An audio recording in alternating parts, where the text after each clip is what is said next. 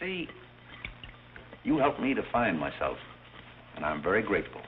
You'd make a wonderful husband. I'm afraid not. You see, I know how you feel about things. How? Well, you're grateful to me because I helped you to beat Cornelia. And I'm grateful to you because you helped me to beat life.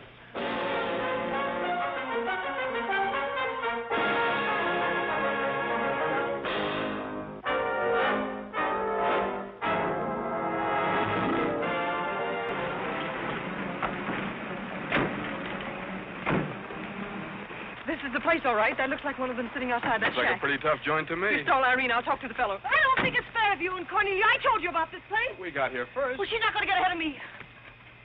Good evening. How'd you like to make five dollars? I didn't quite catch what you said. I said, how'd you like to make five dollars? Five dollars? Five dollars. May I inquire just why you would want to show me to people at the Waldorf Ritz? Oh, if you must know it's a game, you've probably heard about it, a scavenger hunt. If I find a forgotten man first, I win. Is that clear? Shall I wear my tails or come just as I am? You needn't be fresh. Do you want the five dollars or don't you? Who are you? I'm Irene. That was my sister Cornelia who pushed in the ash pile. How'd you like to have me push Cornelia's sister into an ash pile? Oh. I don't think I'd like it. What? Yeah, I don't like to change the subject, but you tell me why you live in a place like this when there's so many other nice places?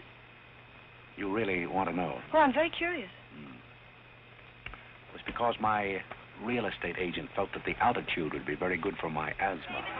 A forgotten man? He said, oh, ladies, ladies and gentlemen, please, quiet, quiet. Miss Bullock has a forgotten man.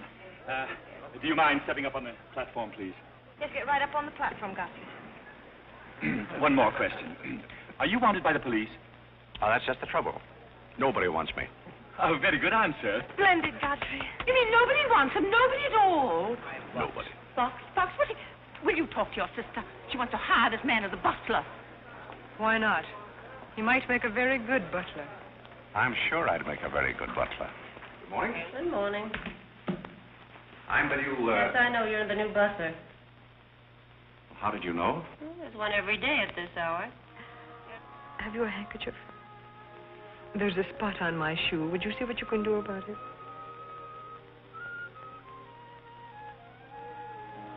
Godfrey Parke, you old mug. Oh, do you know Godfrey? Know him? We went to Harvard together. I'm afraid you've confused me with someone else, sir. I'm Smith. Remember? sure you're Smith. But we did go to college together. Or did we? Imagine a butler with a college education. He's I was pretty bitter at the time. So I gave her everything I had and just disappeared. You know, the Parkes were never educated to face life. We've been puppets for ten generations. And Tommy, it's surprising how fast you can go downhill when you begin to feel sorry for yourself. Do, do you mind if we search your room, Godfrey? Somebody lost? There seems to be a pearl necklace missing. Look under the mattress. yes, there's a dandy place. Well, they're not here. They must be there. Just a minute, lady. What makes you so sure they ought to be under the mattress?